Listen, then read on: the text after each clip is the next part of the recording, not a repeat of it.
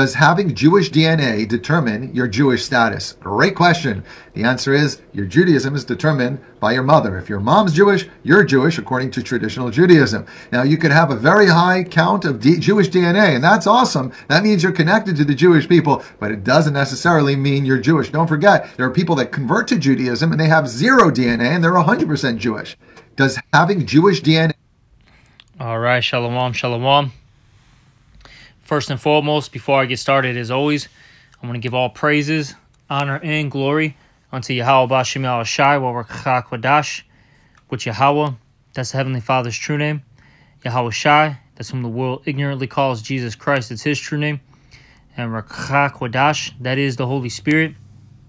And I also want to give double honors to the apostles and the elders of Great Millstone who rule and teach on the scriptures. And salutations to all the brothers out there who are pushing his word in all truth and in all sincerity. And today, I just want to do a lesson on this Instagram reel that I ended up seeing earlier uh, today, or actually it was uh, yesterday, excuse me. And you know, you see this uh, Jewish rabbi, he's telling you that you're two things. He's telling you two things. One, your nationality is based off of um, who your mother is. And then secondly, he's telling you that you can basically switch your nationalities. That's what he's saying, which that's complete madness, okay? That is complete madness, and that's not according to the scriptures. And another thing, a, side note, the, if you don't know, which you'll know now, these Jewish people, they are not the Israelites of the Bible. They're actually the biblical Edomites, in particular the Amalekites, which the Amalekites are a tribe of the nation of Edom. All right, the the Edomites. Okay, and um, you know that's a whole nother lesson within itself. But point being, these people, they don't follow the scriptures. Okay, you know they they know the scriptures. Okay, because they have to use that as their front to show the world that they are, you know, the Lord's chosen people according to them. But in reality, okay, what they follow is the one, the Talmud, all right, and the second is the Kabbalah. Those are their two main books, and they also have several other books. Several other books, okay, that they follow. You see? And in those practices, all right, in, in those books, this is what they tell them. And then, like I said, it's not according to what the scriptures say. And, and that proves to you right there that these people, they're really not the Lord's chosen people. They're completely against Yahweh Bashim Shai, which Yahweh, as I said earlier, that's the Heavenly Father's true name. And Yahweh Shai, that's whom the world ignorantly calls Jesus Christ. They're completely against the true living, all right, power. You see? But let me start off with this, okay? Because this was, that state, both of them are, are you know, you know, it's just confu- It's just utter confusion. But what really, you know, you know, what really boggled my mind, all right, was the fact that this guy said that basically you have converts that have no Jewish DNA in them, according to what he said. But but since they converted, now they're Jewish. That's madness. How could you just switch your nation? Just because you, you know, believe in a particular thing. That is madness. Okay? You see? But hey, we're here to debunk these things. But let's get this. Let's start off with Deuteronomy chapter 32 and 7. Remember the days of old. Consider consider the years of, my, of many generations. Ask thy father, and he will show thee.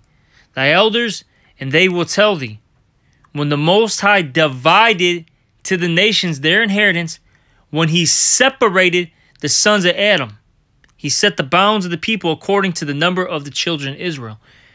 Main point is in verse 9 right there, or verse 8. It says that the Most High divided the nations, okay? He separated the sons of Adam. Now let me look uh, uh up a word, okay? Let's look up this word in that uh, uh um what was it? That Genesis. Okay, what was that? Genesis or Deuteronomy? Excuse me. the book of Deuteronomy, chapter 32. And uh, let's look up this word right here, real quick.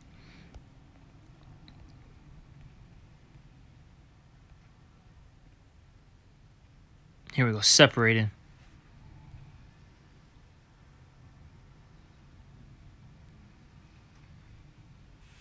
Okay, it's a, I believe it's a, a pronounced a parad, huh? Parad, which is a, it's H sixty five oh three. And right here it says this is the defini- uh, definition. Let's just get straight to the point. To make a division, make a separation. You see? To disperse, scatter, sever Okay? So the Lord basically he made um, nations different. They are not the same. Okay, and let's get a scripture here in Sirach or Ecclesiasticus, which is in the uh, Apocrypha, which the these books that are in the Apocrypha, they are a part of the Bible. Okay, because you'll have some people say that they're not canon, which they are. You know, they, they, they um if you get a 1611 King James Bible, these uh, uh um, these uh, uh books are, are, are, are you know are in there, okay. These scriptures were taken out or omitted. All right. When the uh, was it the Bible destruction uh, uh, group came along, and they took out these books because they basically link so-called white people to the you know biblical Edomites. Simple as that. And if you take out these particular books, all right, then um then you basically won't really understand the scriptures. They did it for a reason. Okay? But let's get this. That was just a side note. Let's get uh Sirach 33 and Let's start at 10. This is uh, Sirach 33 and 10. All men are from the ground, and Adam was created of the earth. In much knowledge the Lord hath divided them and made their uh, ways diverse. Okay, it shows you right there that the nations are different. Okay, and he divided them. So you just can't switch your nationality. That is madness. You cannot do it. You are or who whom your father is. That's that. And let's get that scripture in the book of um, Numbers 1 and 18 real quick to prove that statement. This is Numbers 1 and 18. And they assembled all the congregation together on the first day of the second month, and they declared their pedigrees after their families by the house of their fathers. Okay, let's look up that word pedigree.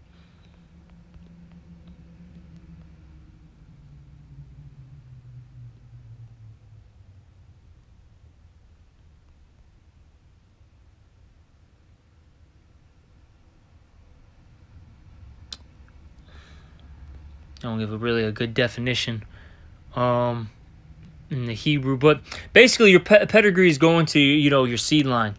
Okay, you know, simple as that. You know, we don't we don't have to sit here and um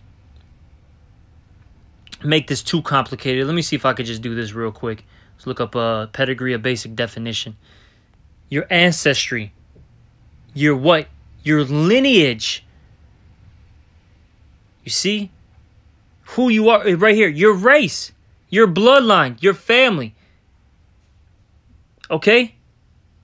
It even goes into paternity, which that goes into, you know, uh, um, you gotta uh, be, you know, that that's going through your your your father's, you know, line. Okay, so point being is, you uh, uh are whom your father is. Okay, and look, the Lord, He made many nations. Let's get Genesis the 10th chapter, just to, you know, show you real quick. Right? This is uh Genesis 10 and 1. It says here, Now these are the generations of the sons of Noah. Shem, Ham, and Japheth, and unto them were sons born after the flood. Now, I'm not going to read all these uh, families, okay? And I'll say this another side note more families were created after, all right, this particular chapter. But point being, though, is it shows you, um, you know, the, uh, uh the nations, okay, of this world. All right, look, it goes in verse 2 says what? The sons of Japheth. You go down um to uh, verse 6, it says the sons of Ham. Okay? All right.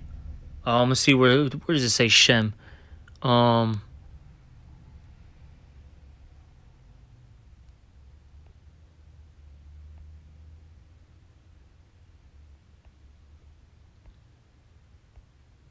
verse 21 it talks about uh, uh, uh, or no 22 it talks about the seed line of shem you see? Then let's just get this last uh, verse here.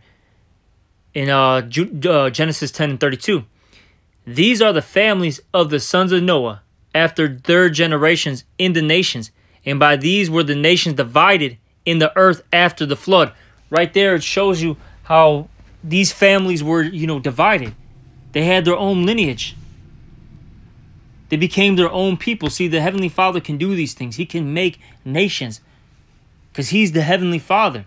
Simple as that. All right? And you are who you, whom your Father is. And these, I'll say this, these nations are still uh, on this earth today. Okay? You know? Like I said, a few nations were added, you know, after um um this chapter here. Okay? You know, for example, you you have um Ammon, Moab. You have Ishmael, Esau, Jacob. Okay? See? But uh let's go back to this in uh Sirach 33 because I don't think we finished it out. Let's read it. Again, this is uh Sirach 33 and 10 and all men are from the ground, and Adam was created of the earth. In much knowledge the Lord had divided them, and made their ways diverse. Some of them he hath he blessed and exalted, and some of them he sanctified, and set near himself. But some of them he some of them hath he cursed and brought low, and turned out their places. And let me keep reading.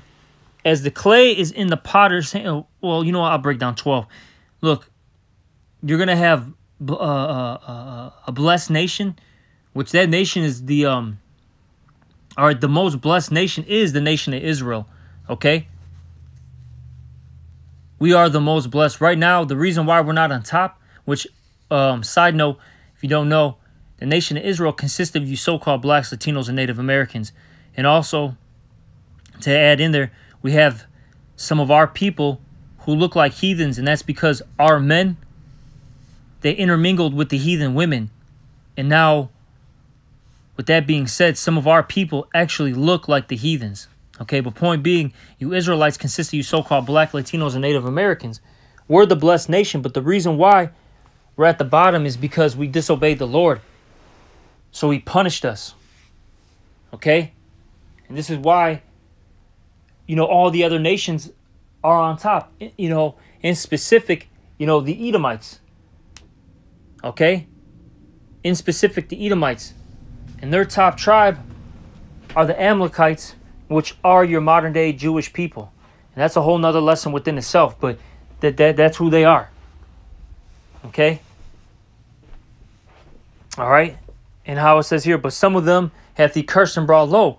And you know, that's going into actually, these Edomites are the uh, the most cursed. Hey, they're, they're the Lord's cursed people. All right, as it says in the book of um, Isaiah, the 34th chapter. Just because they have, you know, power and dominion right now, that doesn't mean it's going to last forever. Okay? But let me keep reading. This is Sirach 33 and 13 now. As the clay is in the potter's hand, to fashion it as he uh, at his pleasure, so man is in the hand of him that made him, which that, that of course is the heavenly Father, to render to them as likened him best. So the Lord, he made uh, uh, different nations, and he has a reason, you know, for these things, because they have all nations have a role in the Lord's movie. Okay, they have um, you know, a specific. You know, they have specific instructions to follow. Okay, a specific script to follow. All right. You see? And like I said, hey, that, that guy, that, that, that, that Jewish rabbi, he, he's bugged out. He probably, uh, you know, knows the truth too, because a lot of those rabbis, they actually know what's going on. They know the scriptures.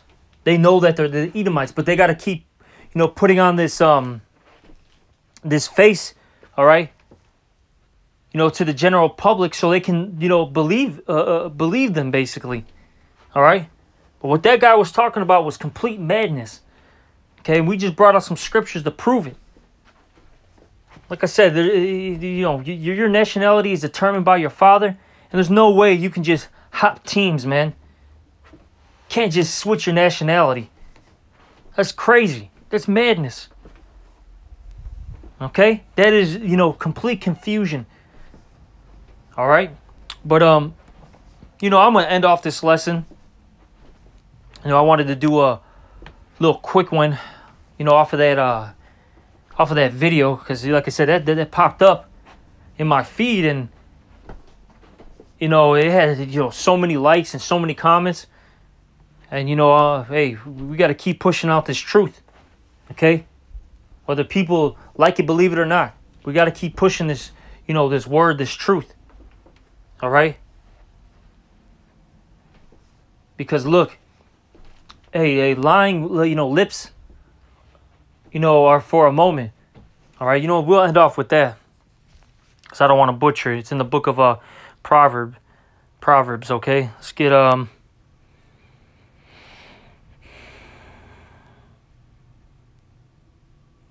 Hold on, how is it worded? Um.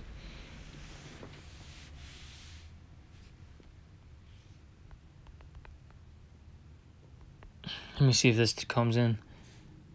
Here we go. Oh, it was lip. That's why it wasn't lips. All right, but let's get this. This is Proverbs 12 and 19. The lip of truth shall be established forever. See, truth is going to reign forevermore. Okay? It's going to prevail over lies, over deceit. See? Let's keep reading. But a lying tongue is but for a moment. And that's all it is. These lies that are pushed, you know, pushed forth right now, that are in this earth, it's only but for a moment eventually a uh, the um um eventually deceit is going to be quenched all right as the scriptures say in the book of second Esdras you know this only has a it's only but for a moment eventually it's going to cease and end and we're in that time period period right now okay you know truth is uh, a springing forth, man. Okay, it's, it's, back in this earth. There's nothing these devils can do about it. All right, but that's pretty much it. You know, I'm gonna end off this lesson. Hopefully, it was an edifying one. And with that, I'm gonna give all praises, honor, and glory unto Yahweh Shemal Shai. Also, double honors to the apostles and elders of Great Millstone, and salutations to all you brothers out there. Shalom.